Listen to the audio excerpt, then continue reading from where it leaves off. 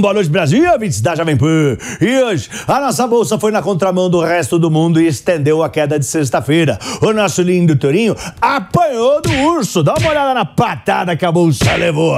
A bolsa caiu de novo, enquanto o mundo afora as bolsas subiram com a redução do nervosismo com a guerra Israel-Hamas. Na sexta-feira, a bolsa azedou depois que o presidente Lula disse que seria muito difícil chegar ao tal do déficit zero, desvalorizando a meta fiscal e jogando um balde de água fria em quem estava acreditando no equilíbrio das contas públicas ano que vem.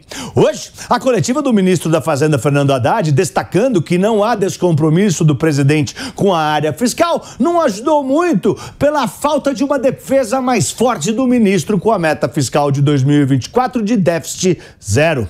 Agora, ele mudou o discurso e disse ter sido surpreendido com a queda de arrecadação por assuntos de 2017. Falou também que precisa de apoio político para aprovar as medidas para elevar as receitas. Hoje, ele não garantiu o déficit zero. Apenas disse que essa é a meta dele, que ele vai atrás do equilíbrio fiscal. Os investidores locais e estrangeiros não gostaram nada disso e os juros futuros juros dispararam, as apostas viraram e não mostram mais a Selic em um dígito no fim do ciclo de corte de juros do Brasil. Agora, as apostas mostram a Selic em 11% no fim do ciclo. O momento das falas foi inoportuno, às vésperas da reunião do Copom, do Banco Central, para decidir juros quarta-feira. E como todo mundo sabe, se os juros não caem, quem cai é a bolsa.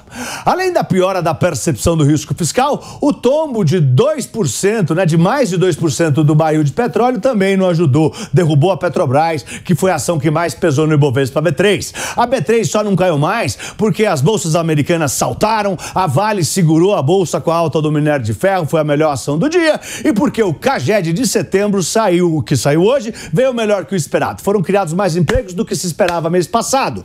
No fim do dia, o Ibovespa B3 terminou aos 112.530 pontos, com 0,7% de queda. Já o dólar fechou valendo R$ 5,04, com meio por cento de alta. O real teve o pior desempenho do mundo hoje.